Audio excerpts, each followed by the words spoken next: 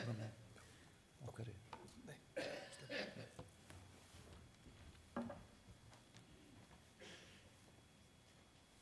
Good morning, everyone. Ladies and gentlemen, distinguished guests, President of Iceland, Mr. Ólafur Ragnar Grímsson. The story goes that when the University of California at Irvine first built its campus, they just planted grass. Then they waited a year and looked where people had made their paths in the grass and used that information to build the sidewalks. When I first realized the dramatic changes the Arctic is going through as a result of global warming, I was reminded of this story. I was reminded of it because, in a way, this is what is happening in the world of marine transport. A new path between Europe and Asia is coming to light, and soon, yes, very soon, it will be our task to build the sidewalks. The implication of these rapid changes are still, still unpredictable, and we must do our best to anticipate every possible outcome, environmentally and economically, for as we have seen throughout the history of civilization, the relationship between the environment and our economic conditions is one of action and reaction. In 2008, the US Geological Survey completed an, an assessment of undiscovered petroleum resources north of the Arctic Circle. The assessment showed that the Arctic might contain more than 20% of all undiscovered recoverable oil and gas resources in the world. That represents 90 billion barrels of undiscovered discovered oil, 1,669 trillion cubic feet of natural gas, and 44 billion barrels of undiscovered natural gas liquids. Thus, the Arctic could hold about 30% of all undiscovered oil, 30% of undiscovered all natural gas, and 20% of all undiscovered natural gas liquids in the world. Increased access to these natural resources and others, such as renewable marine resources, fishing, geothermal energy, and mining, is focusing international attention on the region. And when you take into account the abundance of freshwater supplies that are to be found in Iceland, Greenland, and elsewhere, it is logical to assume that the Arctic geostrategic importance will continue to grow in the foreseeable future. The region is playing a more important role in world politics, and there is a growing interest toward this part of the globe by Asian and European non Arctic states. Just to give you one example, Japan is one of the largest trading nations in the world, but a country of few natural resources. If the ice cap in the Arctic continues to shrink, the navigation distance between Japan and Europe will be greatly decreased. This may potentially cut shipping costs dramatically for the Japanese shipping industry. Seaborne trade currently accounts for 90% of world trade and is dominated by the transportation of raw materials, tanker trade, and other dry cargo, including containerized cargo. The growing importance of the trade relationship between Europe and Asia and the resulting increase in seaborne traffic between the two continents will result in further congestions and a higher risk of collisions along the existing sea routes and their choke points, for example, the Suez Canal and the Strait of Gibraltar. During the Soviet era, the Northern Sea Route never achieved its intended importance as a transit route between the two world oceans, but in recent years, the interest in transit has increased immensely. From two vessels in 2009, six vessels in 2010, 34 vessels in 2011. This year, 270 vessels have been authorized to sail the Northern Sea Route. Arctic trans transit routes represents a new link between European and Asian markets at a time when traditional transit routes through the Panama and Suez Canal are approaching their carrying capacity. Furthermore, these routes are far from optimal in terms of the natural resources found along the way, and when you factor in terrorism and piracy on certain key routes around the world, the increased costs, both human and financial, are taking their toll.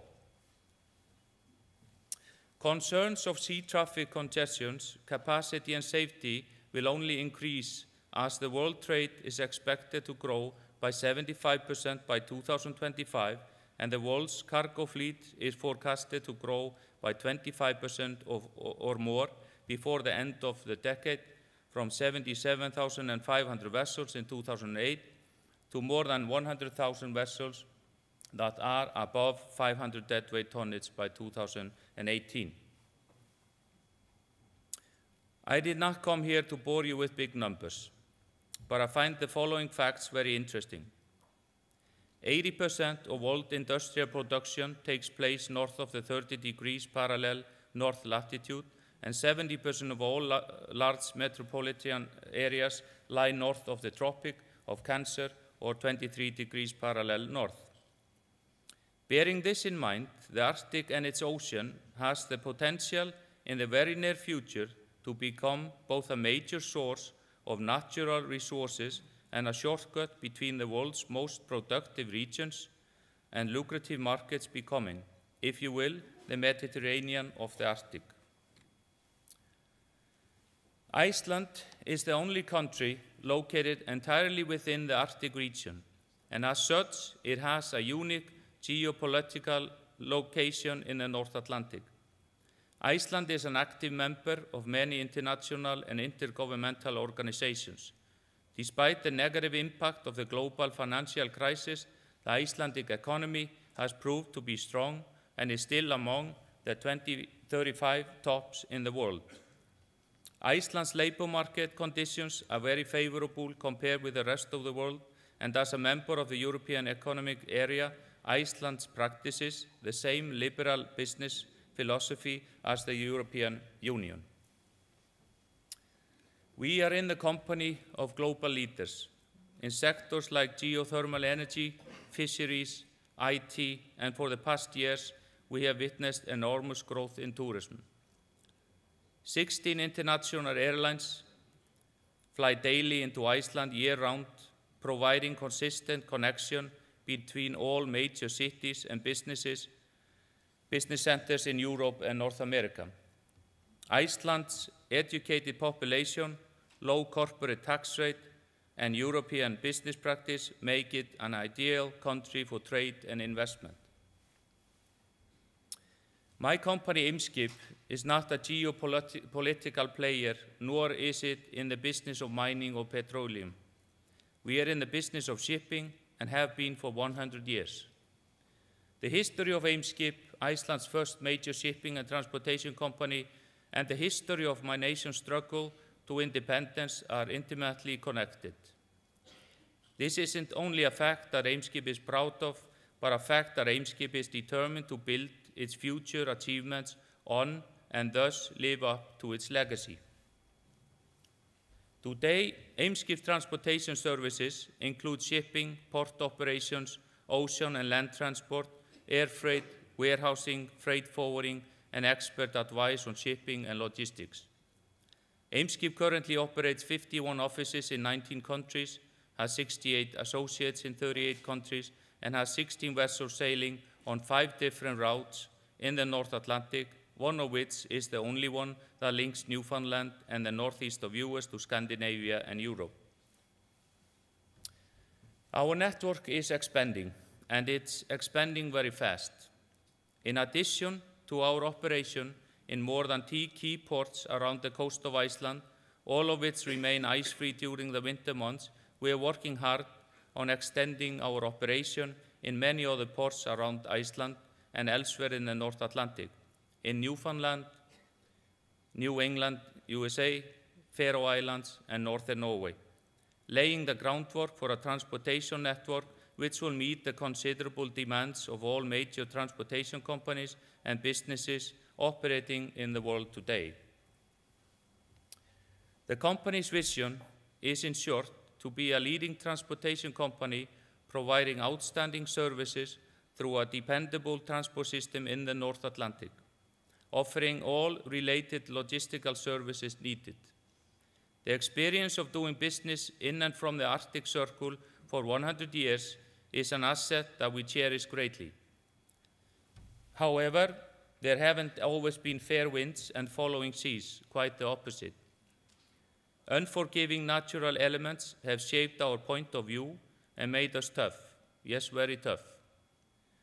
But most importantly, it has taught us to be smart because if you are going to sail the seas, you must prepare yourself for all possible weathers. Iceland has experts on Arctic issues and know-how in the fields of winter shipping, sea transport and cold climate research. And with an educated labor market complemented by a liberal business philosophy, the idea of Iceland playing a key role in becoming a transshipment hub for container traffic in the North Atlantic is not only practical, but also unavoidable. In this industrial Mediterranean Sea of the future, Eimskip intends to be firmly on top. As I draw to a close, I would like to use this opportunity to applaud the President of Iceland. I know he doesn't want this, but Mr. Ólafur Ragnar Grímsson for his leadership in raising international awareness of the Arctic and its issue. I would also like to thank the organizers of the conference for choosing Iceland as a meeting point. This conference, and I'm sure you will all agree, has been a great success. So far, I have had the privilege of meeting a great number of investors, scientists, politicians, and business leaders, and have in the process learned a great many things about the challenges that lie ahead. I look forward to a meeting, to meeting as many of you as I can today or in the near future and discuss these important matters in a greater detail. That is, after all, what we came here to do. I sincerely thank you, ladies and gentlemen, for coming, and I sincerely thank you for listening. Thank you. Thank you very much. Thank you very much.